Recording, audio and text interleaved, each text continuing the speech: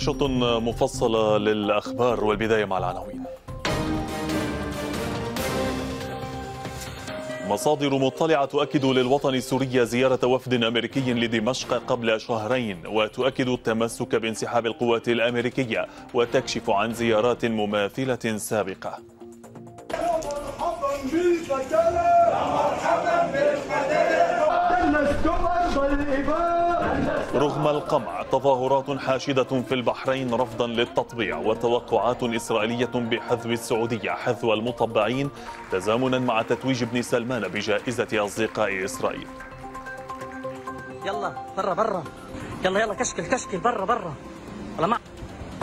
غداة زيارة لوفدها إلى الأقصى بحماية الاحتلال. الإمارات تمضي في تطبيعها وهبوط أول رحلة تجارية من أبو ظبي في تل أبيب.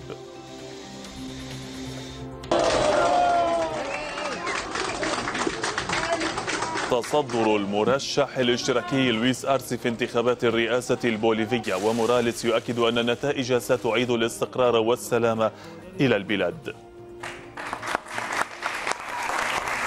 Aujourd'hui, euh, il y a eu un acte terroriste euh, الشرطة الفرنسية تشن حملة ضد عشرات المشتبه في علاقتهم بتنظيمات متطرفة على خلفية حادثة ذبح المدرس.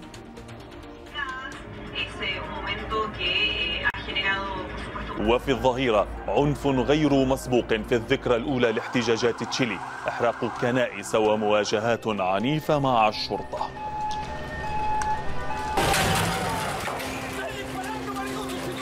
أهلا بكم. أكدت دمشق اليوم ما نشرته صحيفة وول ستريت جورنال الامريكيه عن زيارة سرية قام بها وفد أمريكي إلى دمشق قبل فترة قريبة. جاء ذلك على لسان مصادر لصحيفة الوطن السورية وصفتها بواسعة الاطلاع.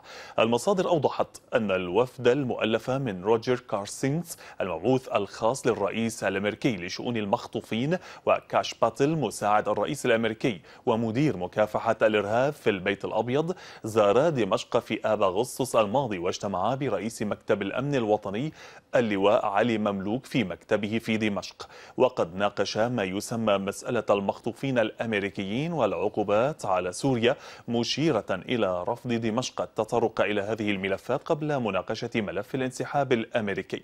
مصادر الصحيفة أكدت أن ثلاث زيارات مشابهة جرت خلال الأشهر والسنوات الماضية. ومن دمشق ينضم إلينا مراسل الميادين محمد الخضر. مرحبا بك محمد. اذا هذه الزيارة التي كانت سرية تم الكشف عنها لو تضعنا في صورة تفاصيلها. ماذا طلبت واشنطن وماذا كان رد دمشق؟ مساء الخير. في الواقع أكدت دمشق لصحيفة الوطن أكدت مصادر مطلعة ما جاء في وول ستريت جورنال عن قيام هذا الوفد الأمريكي بزيارة دمشق ولقائه بالمسؤول الأمني الأعلى مستوى رئيس مكتب الأمن الوطني اللواء علي مملوك. الأمريكيون في الواقع طرحوا جملة واسعة من القضايا تتصل خصوصا بملف العقوبات وسمعوا موقفا سوريا واضحا عدم الخوض في أي ملف قبل الحديث عن الانسحاب أو قبل البحث في الانسحاب الأمريكي من شرق سوريا، معروف الوجود الأمريكي شرق سوريا يشمل مناطق شرق الفرات ومنطقة التنف، هذا كان موقفا صلبا وواضحا.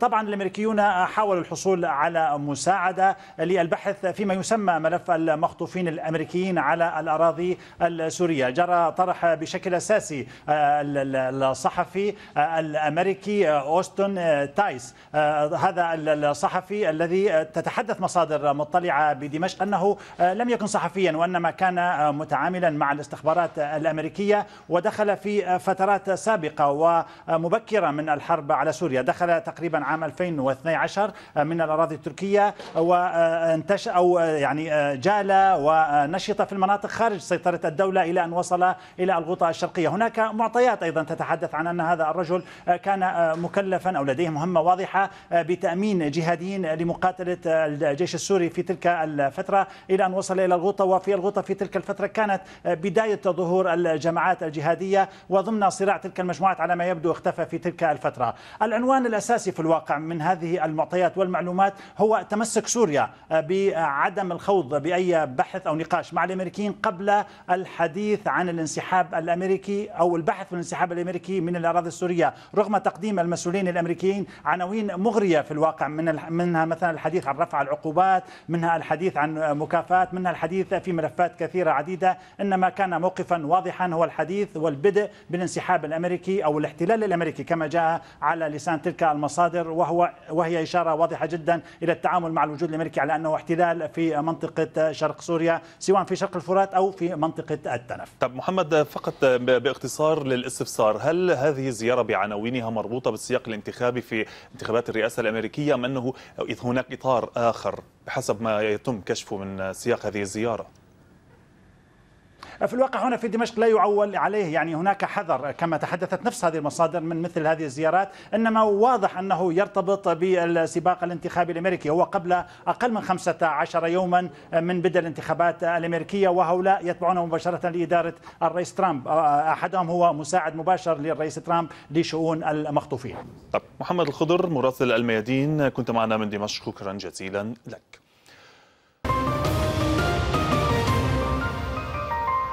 شهدت البحرين في الساعات الماضية تظاهرات حاشدة رفضا لاتفاق التطبيع ورغم إجراءات القمع التي تقوم بها السلطات فقد جابت التظاهرات شوارع العاصمة المنامة على وقع الهتافات المنددة بزيارة الوفد الإسرائيلي للبلاد وأبرزها. لا مرحبا بالقتلة لن نقبل المهادنة ومن رام الله إلى البحرين شعب واحد مش شعبين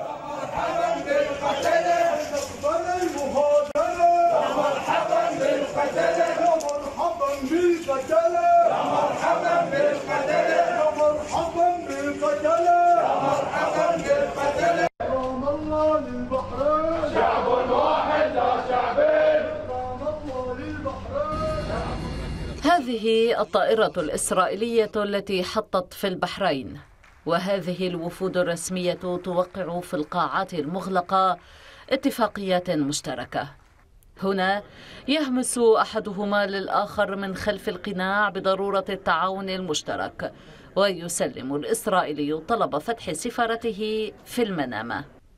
أما هنا فلا يسلم البحرينيون بالأمر الواقع. وفي الخارج يصرخون في وجه زائرهم المنبوذ.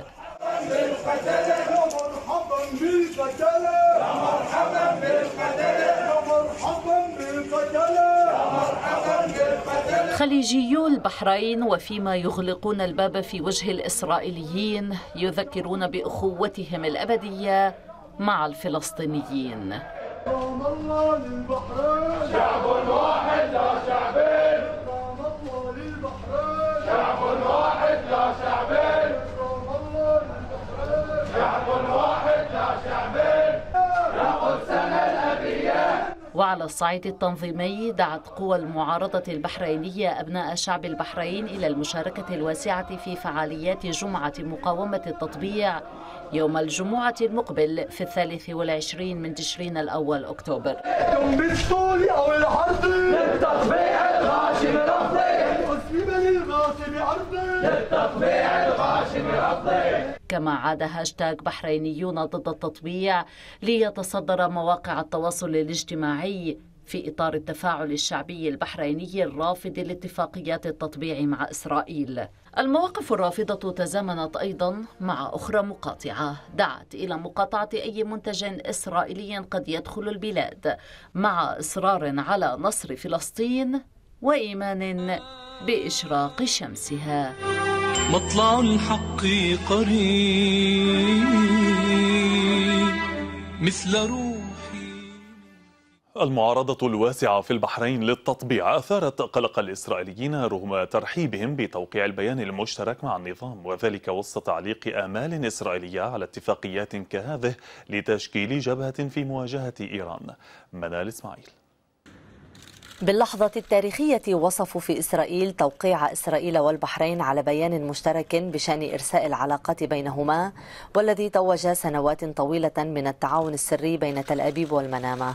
ترحيب المسؤولين الإسرائيليين بمختلف مستوياتهم بالتوقيع على البيان قبله توقف المراقبين عند الأجواء التي رافقت التوقيع والتي كانت أقل احتفالية وفقا لهم من تلك التي رافقت توقيع الاتفاق مع الإمارات نظرا إلى المعارضة الشديدة والعلنية للتطبيع في البحرين مع توقعهم زيادة حدة هذه المعارضة في الأيام المقبلة. مراسم الحفل في البحرين كانت أقل احتفالية من المراسم في الإمارات لأنه في البحرين كما هو معروف هناك معارضة قوية جدا للحكومة على عكس الإمارات ولذلك عليهم السير بنحو دقيق جدا في خطوة التطبيع مع إسرائيل. وفي السنوات الأخيرة لم نرى في البحرين على عكس باقي دول الخليج كالإمارات زيارات رسمية لوزراء إسرائيليين والتقاط صور. حين أعلنوا عن هذه الاتفاقيات في البحرين رأينا تظاهرات ضد النظام من قبل المعارضة وهذا ما لم نراه في الإمارات. أعتقد أنه في الأيام المقبلة سنرى أكثر أصواتا تعارض تطبيع العلاقات مع إسرائيل. الفائدة التي تعود على إسرائيل من اتفاقيات التطبيع هذه لا تقتصر على المجالات الاقتصادية والسياسية بل تتعداها إلى المجالات الأمنية والعسكرية وتشكيل جبهة تضم دول الخليج وإسرائيل ضد إيران. نحن نفتح آفاقا جديدة على المستوى الاقتصادي والأمني ترفع من مستوى التعاون في المجالات كافة. وهذا يعطينا نوعا من العمق الاستراتيجي المهم جدا والمهيمن ضد محاور الشر ولا سيما تلك التي تدار من قبل إيران. صواريخ أرض أرض والنووي والإرهاب والتمدد الإقليمي. وهذا الأمر هو رسالة إلى محور الشر من قبل تلك الدول وبالطبع من قبلنا أيضا. الاهتمام الإسرائيلي بالاتفاقية مع البحرين ينطلق مما كشفته وسائل إعلام إسرائيلية حول تأكيد مسؤولين في إسرائيل والبحرين بأن الاتفاقية ستؤدي إلى سلام كامل بينهما ومن أنه سيتضمن اتفاقيات سياسية ودبلوماسية واقتصادية وإقامة سفارات وتبادل السفراء. وفي السياق ذاته دعا رئيس الموساد يوسي كوهين السعودية إلى عدم انتظار إحراز تقدم في المفاوضات مع الفلسطينيين لتطبيع علاقاتها مع إسرائيل. من الآن فصاعدا أعتقد أنه يجب ألا يكون هناك اشتراط بشأن علاقتنا مع الفلسطينيين. أو بشأن توقيع اتفاق سلام معهم. بالطبع جميعنا يأمل ذلك ونبارك كل تقدم في المفاوضات مع الفلسطينيين نحو تسوية مستقبلية. لكن يجب ألا يكون هذا الأمر عائقا أمام استمرار الاتصالات واستمرار إيجاد علاقات متبادلة بيننا وبين دول المنطقة ولا شرطا لهذا الاستمرار. وبالتوازي أعلن متحف أصدقاء إسرائيل أنه سيتم تقديم ما يسمى جائزة أصدقاء إسرائيل إلى كل من ولي العهد السعودي محمد بن سلمان وملك البحرين حمد بن عيسى الخليفة والعاهل المغربي الملك محمد السادس ورئيس وزراء الإمارات محمد بن راشد المكتوم ورئيس صربيا ألكسندر فوتشيتش. رئيس الوزراء الإسرائيلي بنيامين نتنياهو اعتبر أن المعاهدة الإبراهيمية نقطة تحول مذهلة في تاريخ المنطقة لإضفائها الشرعية على وجود وجود إسرائيل هنا على حد تعبيره. من جهتها الإمارات مضت في إجراءاتها التطبيعية وقد هبطت للمرة الأولى طائرة إماراتية تابعة لشركة طيران الإمارات صباحا في مطار بن غوريون في تل أبيب. رحلة الطائرة التجارية ستقل على متنها رجال أعمال ومندوبين عن مكاتب السفر وصحفيين وسياحا في طريق العودة إلى أبو ظبي.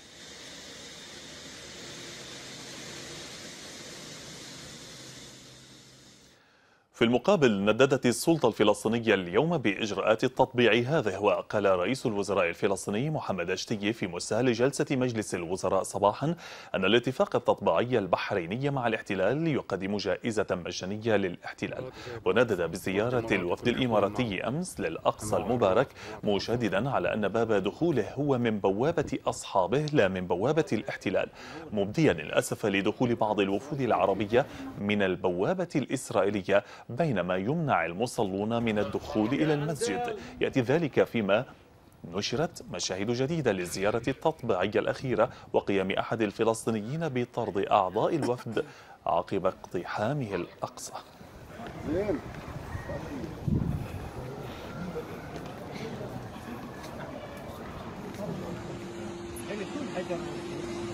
ما ما تحكي معي ما تحكي معي إحنا مطبعين زيك زي أشكالك أنا ما بسمح يحكي معي واحد هيك. بس أنت تحترم حالك وتحترم. ابعد ابعد ابعد عني ما اطلع. يلا برا برا. يلا يلا كشكل كشكل برا برا. ولا معك. يلا.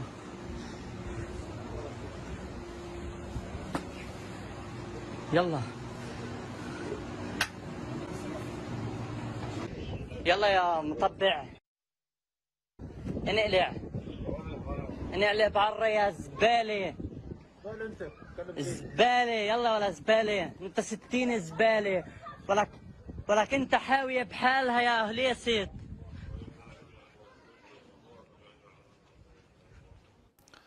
وفيما يستمر بعض الأنظمة الخليجية في إجراءاته التطبيعية تمضي قوات الاحتلال في اعتداءاتها ضد الفلسطينيين اقتحاما واعتقالا وهدما لمنازلهم. وفي إطار هذه الاعتداءات قدمت بل أقدمت قوات الاحتلال على هدم عدد من المنازل في منطقة مسافر يطف الخليل جنوب الضفة الغربية بعد قمع الأهالي ومن بينهم نساء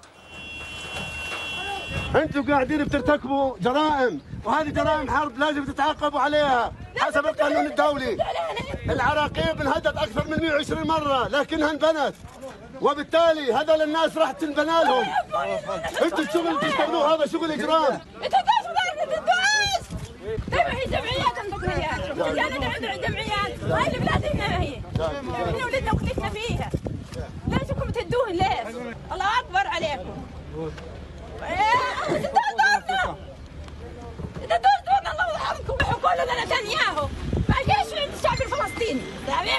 قولوا ما كيش تدوروا روحوا ادوا داروا على راسكم ردوا على داركم اللي بديكم الاوامر روحوا ادوا داروا عليهم ورا ورا ورا ورا ورا ورا ومعنا من رام الله مراسلة الميادين نسرين سلمي مرحبا بك نسرين. إذا بحسب ما تابعنا واضح حجم السخط الرسمي والشعبي الفلسطيني تجاه هذا الاقتحام لهذه الوفود العربية المطبعة على يد بيد مع عناصر أو جنود الاحتلال الإسرائيلي. هل من إجراءات عملية مزمع اتخاذها كانعكاس عملي لهذا السخط بحسب مواقف أشتية وهؤلاء المص... كما صور هذا المواطن الفلسطيني مثلا. يعني هو الانعكاس سيكون فقط في الشارع المقدسي تحديدا. رهان القيادة ورهان الفلسطينيين هو على المقدسيين لأنهم هم الوحيدين الذين يتمكنون من الوصول إلى المسجد الأقصى خصوصا في هذه الأيام في ظل إجراءات منع حتى أهل داخل المحتل أهل المناطق المحتلة عام 48 لا يستطيعون الوصول بسبب إجراءات كورونا فقط المقدسيين هناك. بالنسبة للفلسطينيين ببقية المدن هم ممنوعون أصلا من زيارة المسجد الأقصى وهذا سبب السخط والغضب.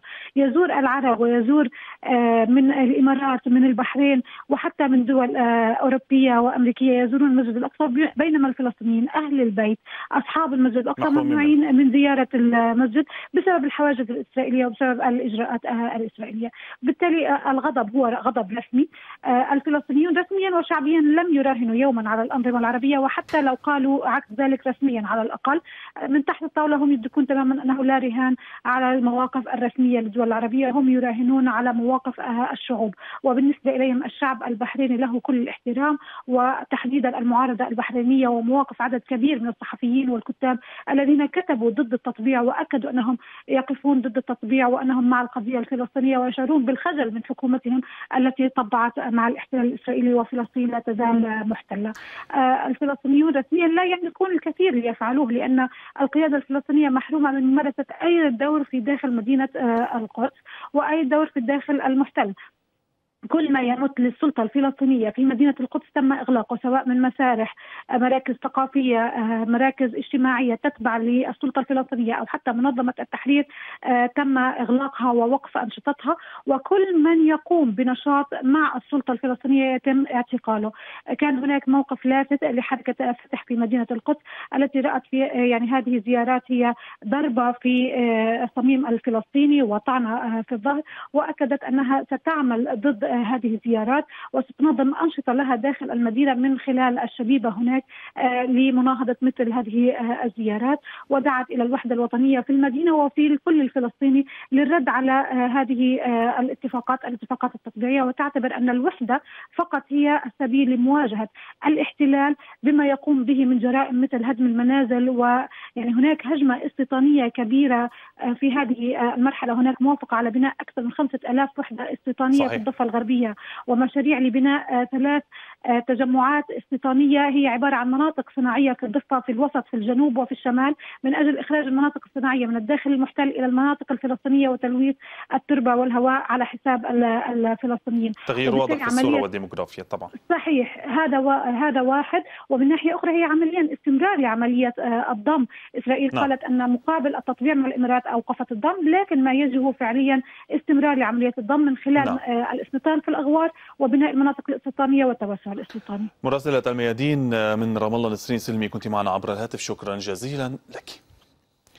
وفي جديد قضية الأسرة تواصلت الوقفات والمسيرات التضامنية مع الأسير ماهر الأخرس مع دخوله اليوم الخامس والثمانين من إضرابه عن الطعام. وقد جدد الفلسطينيون مطالباتهم بنصرة قضيته وإنقاذ حياته مع أحمد شلدان. ماهر الأخرس. هو نداء اللحظات الأخيرة لإنقاذ حياة الأسير المضرب عن الطعام ماهر الأخرس فبعد 85 يوما من معركته ضد سجانه باتت وتيرة التضامن الفلسطيني معه في ازدياد الساعات القادمة هي ساعات خطيرة جدا وقد نسمع تدهور خطير جدا قد يصل إلى حافة الموت في الساعات القادمة. إذا لم يتحرك الجميع لإنقاذ روح الأسير ماهر الأخرس. إحنا أسرانا بموتوا أسرانا منطهدين حرام عليهم. ينظروا يحطوا على طاولة المفاوضات الأسرى بالدرجة الأولى. إلى مرحلة حرجة جدا وصلت حالة الأسير الأخرس والتي استعرضها الأطباء في خيمة التضامن معه أمام مقر الصليب الأحمر في غزة. بعد 85 يوم من الإضراب بدأت تتضرر كل أعضاء الجسم. ليس الجهاز الهضمي وحده ولكن ممكن كل الأعضاء الداخلية بدأت تتضرر للأخ الأسير ماهر الأخرس. ونحن يعني في الأيام القادمة استمر الوضع على هم عليه ولم يتم الإفراج عنه ممكن يستشهد الأخ ماهر الأخرس. يواصل المجاهد ويطالب الفلسطينيون بوضع المؤسسات الدولية أمام مسؤولياتها تجاه الدفاع عن حياة الأسير الأخرس ولا سيما في ظل حالة الصمت على المستويين الرسمي والحقوقي. في معركة الأمعاء الخاوية يعيد الأسير ماهر الأخرس تسليط الضوء على قضية الأسرة والتي يطالب الجميع هنا بتدخل عاجل ينهي معاناتهم ويضع حدا لازدواجية المعايير الدولية في التعامل مع هذه القضية الإنسانية. أحمد شلدان غزة الميادين. إلى تونس حيث نظم التونسيون وقفة للتضامن مع قضية الأسير الأخرس وسائر الأسرى في سجون الاحتلال الإسرائيلي. المشاركون في الوقفة شددوا على أهمية معركة الكرامة التي يخوضها السجناء الفلسطينيون في وجه محتل غاصب وأيضا في وجه موجة تطبيع غير مسبوقة كما أكد أن حق الفلسطيني ثابت ولن يسقط بجرائم الاحتلال ولا بالخذلان العربي. اليوم ماهر الأخرس ورفاقه في الحركة الحركة الأسيرة الفلسطينية. صراحة يعني يخطون ملحمة تخجلنا إحنا هنا في تونس. وفي منطقة المغرب العربي وفي سائر الوطن العربي. إلى الأسرى لنقول لهم أنتم عنوان الشرف في هذه الأمة وأنتم الذين في طليعة الحركة حركة المقاومة الفلسطينية وأنتم الذين توجهون الرسائل الكبرى رسائل الوحدة والإصرار على المقاومة والنصر أو الشهادة. معركة البطون الخاوية التي يدشنها أسرى الحرية في السجون الصهيونية تحت عنوان معركة عهد الأوفياء. فاصل قصير نتابع بعده هذه النشرة.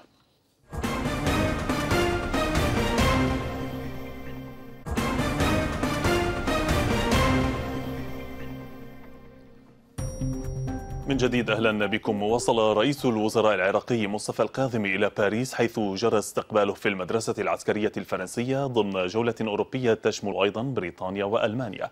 الكاظمي قال خلال لقائه رئيس الحكومة الفرنسية جان كاستاكس إن حكومته تسعى إلى علاقات متينة مع دول العالم تقوم على أساس المصالح المشتركة وإعادة العراق إلى وضعه دوريا. ومن المقرر أن يعقد الكاظمي عددا من اللقاءات والمباحثات المباحثات الرسمية في قصر الإليزي مع الرئيس إيمانويل ماكرون وكبار المسؤولين في الحكومة الفرنسية تتعلق بتوطيد العلاقات الثنائية وتوسيع التعاون بين البلدين على مختلف الصعود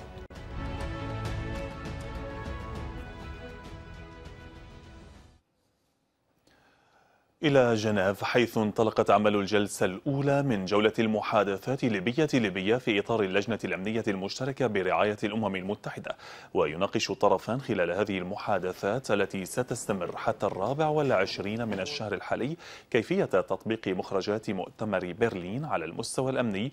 ابتداء بإجراءات بناء الثقة كفتح المعابر وتسهيل مرور المساعدات وتبادل المحتجزين المبعوثة الأممية ستيفاني ويليامز شددت على ضرورة أن تخرج هذه المحادثات بما يعكس تطلعات الليبيين لتخفيف المعاناة. أرجو من أعضاء الوفدين استثمار هذه الفرصة هذه الفرصة الثمينة والعمل بجد خلال الأيام القادمة للتوصل إلى حلول لكافة المسائل العالقة للوصول إلى وقف تام ومستدام لإطلاق النار في أمون ليبيا للإسهام بإنهاء مؤنات الليبيين. ينضم إلينا مدير مكتب الميادين في جنيف موسى عاصي. مرحبا بك موسى. اذا تمن أممي كما سمعنا لبناء عناصر الثقة بين الأطراف الليبيين لوقف إطلاق النار وإنهاء معاناة الليبيين. لعله عناوين بارزة تسبق هذا اللقاء. تفاصيل أوفى معك عنه.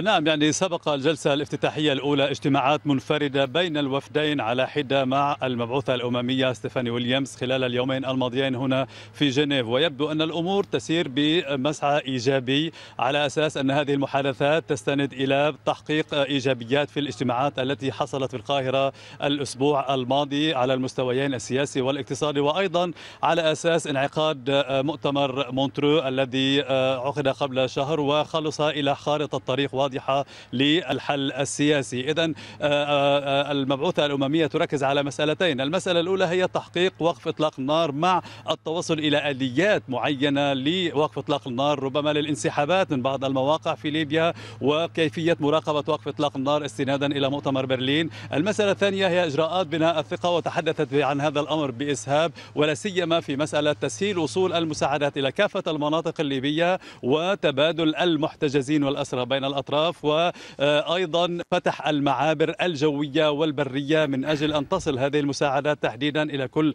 المحتاجين ولا سيما في مدينة سرت وأيضا المنطقة الوسطى. هذه المحادثات ستستمر خمسة أيام. يتوقع أن تنتهي يوم الجمعة المقبل ويشارك فيها الطرفان الليبيان وفد الحكومة حكومة الوفاق الوطني من طرابلس ووفد القوات التي يقودها الخليفة عفوا الجنرال خليفة حفتر. إذا مدير مكتب الميادين في جنيف موسى عاصي كنت معنا شكرا جزيلا لك.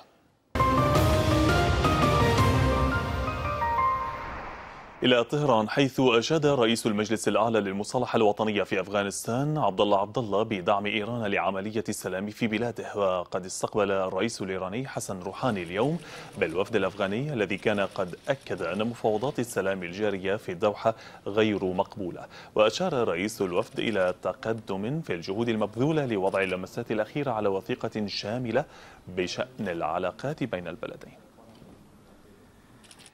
من جهته اعتبر المتحدث باسم الخارجية الإيرانية سعيد خطيب زادة أن بلاده يمكنها أن تقدم دعما مؤثرا للحوارات الأساسية بين الأطراف الأفغان كافة ووصف من جهة أخرى انتهاء حظر التسلح على إيران بالإنجاز الكبير مؤكدا أن بلاده نجحت مرة جديدة في إيقاف الأحادية الأمريكية.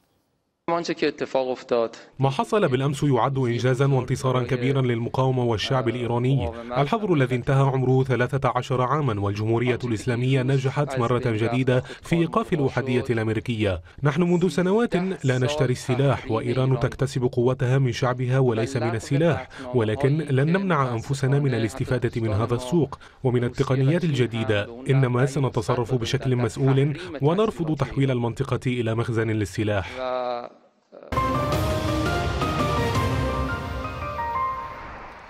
مرشح حزب الحركة نحو الاشتراكية لويس أرتسي يفوز برئاسة بوليفيا وفق النتائج غير الرسمية. موراليس أكد أن نتائج الانتخابات ستعيد الاستقرار والسلام فيما تسارع الرئيس المؤقتة جانين أنيس إلى تهنئة أرسي بالفوز. مريم عثمان. بعد نحو عام على استقالة إيفو موراليس مرشح حزبه الحركة نحو الاشتراكية يفوز في الانتخابات الرئاسية وفقا للفرز السريع. النتائج غير الرسمية التي صدرت بعد ساعات على إقفال صناديق الاقتراع. بدت حاسمة لناحية فوز لويس أرسي من الدورة الأولى على حساب المرشح الوسطي كارلوس ميسا. أريد أن أهنئ الشعب البوليفي. لقد اتخذنا خطوة مهمة للغاية إلى الأمام. لقد استعدنا الديمقراطية واستعدنا الأمل.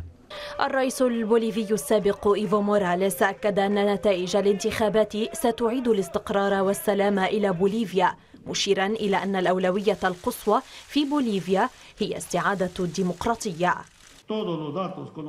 كل المعطيات تشير حتى الآن إلى انتصار الحركة نحو الاشتراكية التي هي أداة سياسية لسيادة الشعوب. استعدنا الوطن وسنستعيد الاستقرار والتقدم وسنستعيد السلام مخلصين لميراث أجدادنا. سنعيد الحرية للملايين وسنستعيد وحدة الشعب البوليفي. في ظل خسارة فادحة شهدها اليمين الذي يمثله المرشح فرناندو كاماتشو أحد أبرز قادة الاحتجاجات ضد موراليس سارعت الرئيسة اليمينية المؤقتة جيانين أنياس إلى تهنئة أرسي بالفوز ودعته في تغريدة على تويتر إلى مراعاة الديمقراطية في حكم بوليفيا. نتائج الانتخابات هذه تأتي في مرحلة دقيقة تعيشها بوليفيا. كيف لا وهي شهدت عاما من التوتر على خلفية استقالة موراليس بعد انقلاب قادته المعارضة اليمينية التي اتهمت موراليس بتزوير انتخابات فاز فيها بولاية رابعة.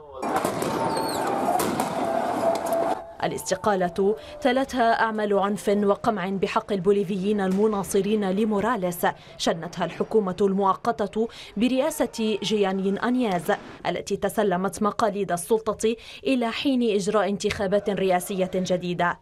انتخابات يبدو أن نتائجها الأولية ستجنب البلاد أزمة سياسية حادة.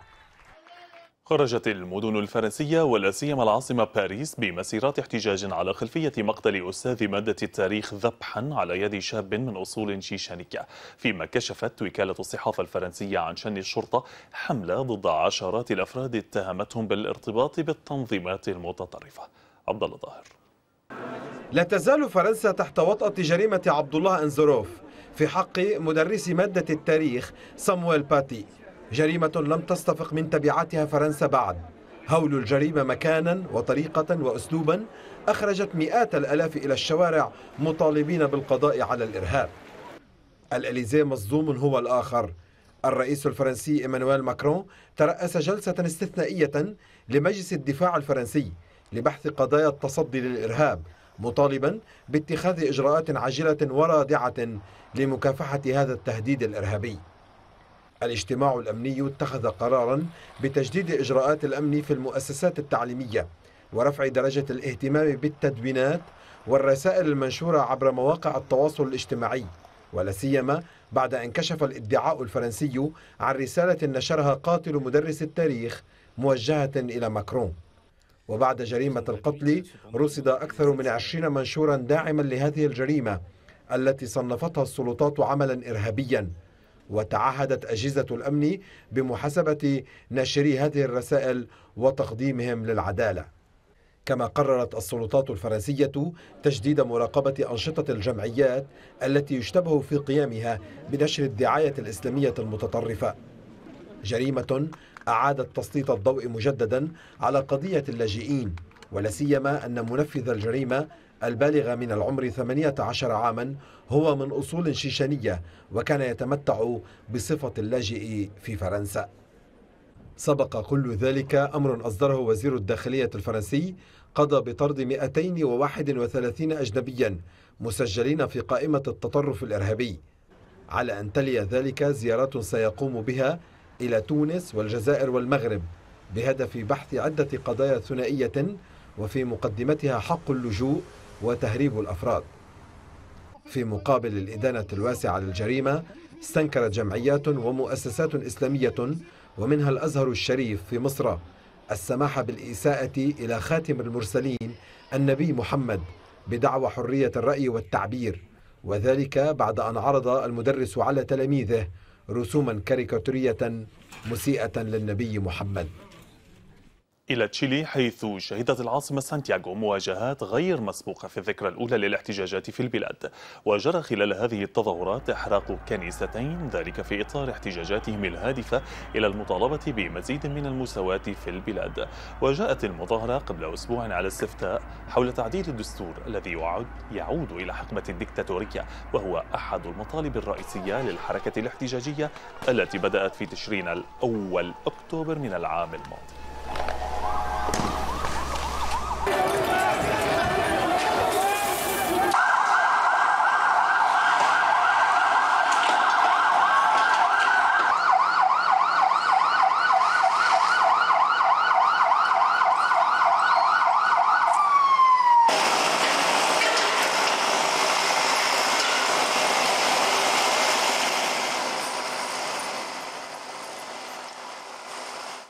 إلى موجز الاقتصاد في هذه النشرة والزميلة إليسار كرم. مرحبا إليسار. مرحبا محمد شكرا لك.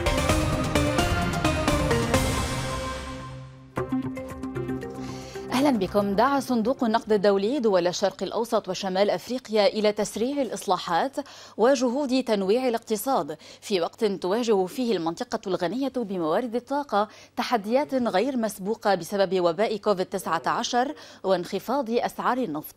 الصندوق قال إن الناتج المحلي الإجمالي للمنطقة سينكمش بنسبة 5% هذا العام وسوف تعاني الدول من أسوأ أداء اقتصادي لها متجاوزة الانكماش القياسي البالغ أربعة ونصفا في المئة عام 1978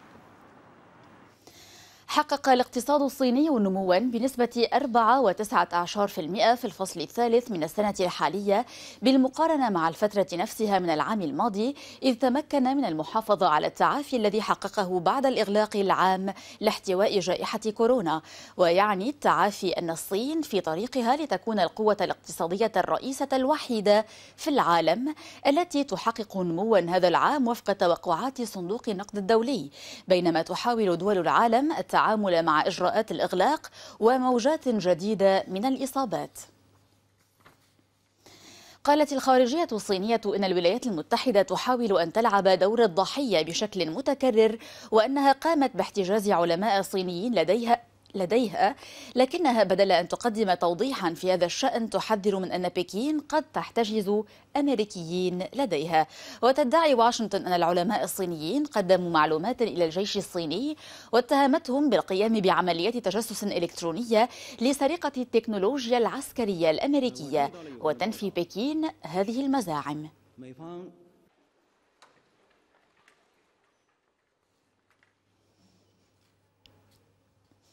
تبحث أوبك ضعف توقعات الطلب في مواجهة عودة الارتفاع في عدد الإصابات بوباء كورونا وكذلك زيادة الإنتاج في ليبيا. وخفضت منظمة أوبك بلس الإنتاج منذ ثلاثة أعوام في محاولة لتحقيق التوازن ودعم الأسعار وخفض المخزونات ويجري حاليا تقليص الإنتاج بواقع سبعة ملايين وسبعمائة ألف برميل يوميا. علما أن التوقعات الحالية قد تدفع التكتل إلى تأجيل أي تخفيف للقيود على الإنتاج. قال وزير الطاقة الإيراني رضا أردكانيان إن إطلاق خط سكة حديد هرات خواف بين إيران وأفغانستان سيتم الشهر المقبل وإن اللجنة المشتركة للتعاون الاقتصادي ستجتمع لبحث التعاون الجمركي وسبل تعزيز الأسواق الحدودية.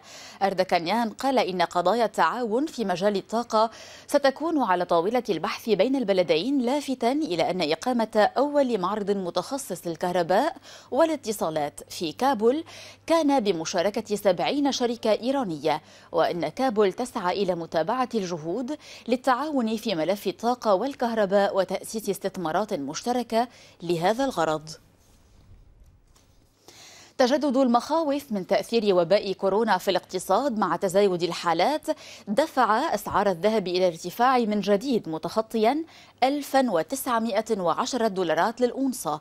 المخاوف من الركود العالمي وإعلان الولايات المتحدة عن اقتراب إقرار حزمة تحفيز جديدة عزز أسعار المعدن الأصفر الذي يعد ملاذا آمنا في الأزمات. بعدما زادت قيمة أكثر من 25% خلال أقل من عام. بهذا نختم أخبار الموجز الاقتصادي ونعود إليك محمد. شكرا أليسار قبيل إطلاق دورته الرابعة في الثالث والعشرين من تشرين الأول أكتوبر الحالي يواجه مهرجان الجونة السينمائي في مصر حملة رفض بسبب تكريم الممثل الفرنسي جيرارد ديبارديو بسبب مواقفه الداعمة لإسرائيل. الحملة يقودها فنانون ومثقفون مصريون وعرب يعتبرون تكريم ديبارديو تطبيعا مع إسرائيل. تقرير خالد أبو عرب. حملة رفض واسعة قادها فنانون ومثقفون مصريون وعرب عنوانها لا للتطبيع. منذ الإعلان عن تكريم الممثل الفرنسي جيرار ديبارديو في مهرجان الجونة السينمائي في دورته الرابعة المرتقبة ومنحه جائزة الإنجاز الإبداعي. حملة الرفض جاءت بسبب مواقف جيرارد الداعمة لإسرائيل فضلا عن اتهامه بقضايا قتل واغتصاب. اللي بيسمح لنفسه على فكرة بأي شيء من وجهة نظري غير أخلاقي هي هيبقى بالنسبة له التطبيع شيء عادي الكيان الصهيوني شيء عادي. يعني بالنسبة له بقى كفنان هو يعني إيه آه الورقة الرابحة يعني هو اللي هي هيلعب بيها. لكن زي ما بقول لك هناك فنانين كبار بيرفضوا لا يعني الموقف الإنساني والموقف الفني والموقف الفكري الثلاثة مع بعض. لم تكن حملة الرفض هذه هي الأولى من نوعها فقد حاول منذ سنوات مهرجان القاهرة السينمائي تكريم المخرج الفرنسي كلود ليلوش الداعم لإسرائيل لكن حفل التكريم ألغي تحت وطأة المواجهة التي خاضها آنذاك سينمائيون ومثقفون مصريون رفضا للتطبيع. اتخذت الجمعيات العمومية لنقابات المهن الفنية قرار بعدم التطبيع مع إسرائيل أو اللي بيدعموا إسرائيل. يعني إحنا طبعا ما ندخلش في وجهة نظر حد هو حر عايز يدعم إسرائيل بس أنا ما كرموش. أنا ما ادعموش بقى. لأنه وقالت ده مش للأبد قالت لا لحد إرجاع حقوق الشعب الفلسطيني. وكان أكثر من خمسين شخصا من بينهم فنانون ومثقفون وكتاب إضافة إلى مواطنين قد وقعوا على بيان أعلنوا فيه رفضهم القاطع لتكريم ديبارديو باعتباره خرقا لما أجمعت عليه الجمعية العمومية لاتحاد النقابات الفنية من رفض كل أشكال التطبيع مع إسرائيل. رفض التطبيع مع إسرائيل بأشكاله كافة حتى وإن كان على المستوى الثقافي أو الفني. هو موقف ثابت ومتجذر لدى المجتمع المصري وليس وليد اللحظة. موقف يرسخ مبدأ الحفاظ على الهوية والكرامة العربية. خالد أبو عرب القاهرة الميادين.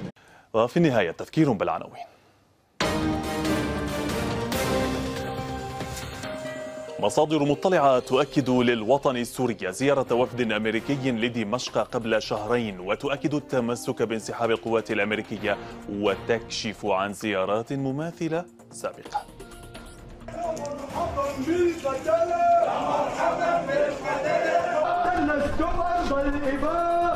رغم القمع تظاهرات حاشدة في البحرين رفضا للتطبيع وتوقعات إسرائيلية بحذو السعودية حذو المطبعين تزامنا مع تتويج ابن سلمان بجائزة أصدقاء إسرائيل. يلا برا برا. يلا يلا كشكل كشكل برا برا. ولا ما غداة زيارة وفدها للأقصى بحماية الاحتلال الإمارات تمضي في تطبيعها وهبوط أول رحلة تجارية من أبو ظبي في تل أبيب.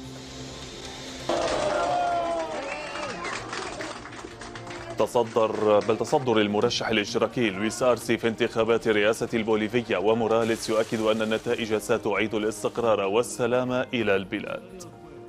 Aujourd'hui, euh, il y a eu un acte terroriste euh, الشرطة الفرنسية تشن حملة ضد عشرات المشتبه في علاقتهم بتنظيمات متطرفة على خلفية حادثة ذبح المدرس. وفي الظهيرة عنف غير مسبوق في الذكرى الأولى لاحتجاجات تشيلي. إحراق كنائس ومواجهات عنيفة مع الشرطة. للمزيد من الأخبار والتقارير تفضلوا بزيارة موقعنا على الإنترنت الميادين دوت نت باللغتين العربية والإسبانية. ألقاكم على رأس الساعة مع موجز للأنباء إلى اللقاء.